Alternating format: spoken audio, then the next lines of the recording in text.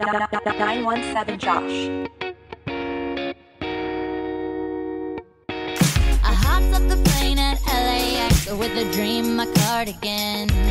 Welcome to the land of fame excess. Am I gonna fit in?